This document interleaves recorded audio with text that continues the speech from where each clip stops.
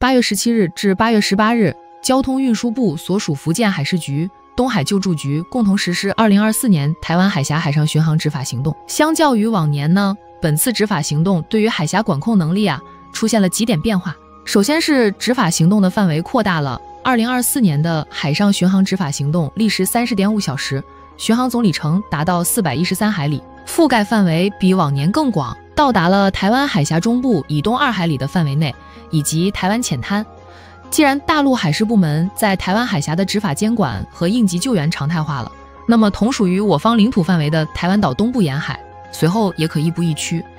其次是大陆的法律延伸过去了，《中华人民共和国海警法》颁布后，明确了对非法捕捞问题的处置方式，而包括台湾地区的渔民在内的所有船只，在台湾海峡捕鱼的活动都在法律的约束范围内。台湾渔民在出海作业时就会遵守海警法。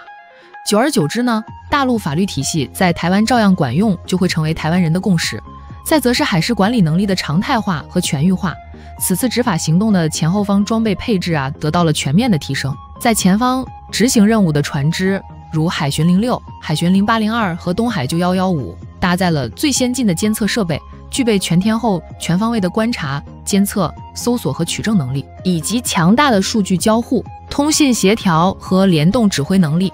而东海救幺幺五作为一艘远洋救助船，具有一万海里的续航力，能够适应包括十二级台风在内台湾海峡复杂的海况。呃，目前已经参与过多次救援行动。在后方，国家相关部门建立了大数据系统，能够对过往台湾海峡的船只进行实时监测和分析，包括船名、船号、航速、吨位和航行状况等信息。这意味着，不管是监管执法，还是应急救援，不管是前方管控。还是后方总揽，海事部门在台湾海峡已经完全具备了常态化和全域化的全面管理能力。这就是之前提到过的台湾回归新思路，以治权推进对台主权回收工作。所谓治权，通常指的是一个国家对其领土内的人和事所行使的管辖权和管理权，它是国家主权的具体体现，包括立法、行政、司法等多个方面。治权对于主权的确认可以说是全方位的，领土明确性。治权的范围必然与国家领土范围相对应，是国家在其领土上行使职权的能力。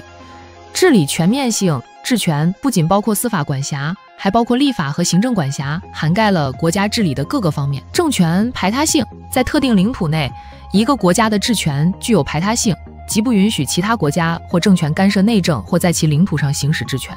具体到台湾问题上，以治权推进主权回收工作的好处有很多，比如法律体系的向下兼容。既然海警法延伸过去了，其他相关法律管过去也是迟早的事情。而通过在台湾实施大陆的法律体系，可以逐步实现大陆法律体系在台湾的向下兼容。为台湾回归后法律上的无缝对接打下基础。比如行政管理和服务，大陆对台湾提供行政管理和服务，在心理层面能够增强台湾居民对祖国的认同感和归属感；在实际层面，只要持续时间足够长，台湾人就会在潜移默化中习惯于被大陆行政管理。就像新海警法颁布后，台湾渔民必然会遵守相关作业规定那样，达成一种潜在共识。如此一来，有利于台湾回归后该地区社会秩序的安全和稳定。只要我们的治权延伸过去了，那台湾很有可能会以一种意想不到的方式回归。比如说，大陆的救援力量在台湾沿岸登陆。台湾由于位于西北太平洋的台风路径上，再加上地形多山，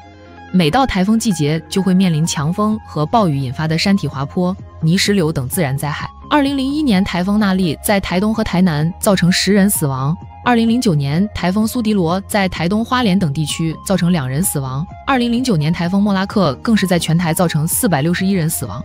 因为地理因素，台风是台湾居民面临的常态化自然灾害，几乎每年都有人在台风灾害中遇难。而台湾当局低下的救援效率也常被大家诟病。随着大陆监管执法和应急救援的全域化，未来台湾出现大型自然灾害，不排除大陆救援力量直接登陆台湾沿岸。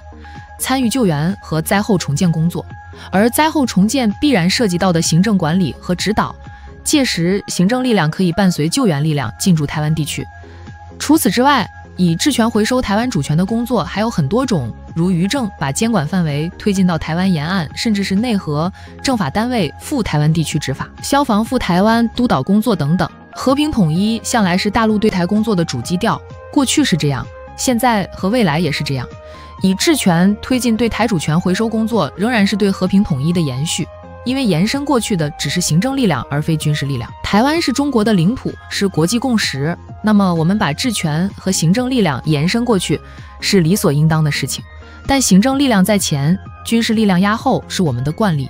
在该过程中，如果台当局保持沉默不作为，我们则钝刀子割肉，一步步升级，从渔业执法权的收回，到整个台湾地区的执法权收回，再到行政力量的收回。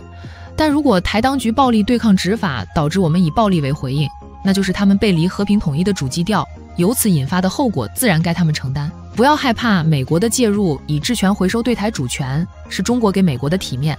这样做呢，中国无需大动干戈，还能保证美国在亚洲的霸权，还能表面维持，对我好，对你也好，大家双赢，面子上都能过得去。但美国不想体面，那收回台湾反而是最小的成果了。更大的成果，则是把美国在亚洲的势力范围连根拔起，到时候南海没有问题了，日韩也不敢蹦跶了。还是那句话，台湾从来不是中国的难题，而是美国的送命题。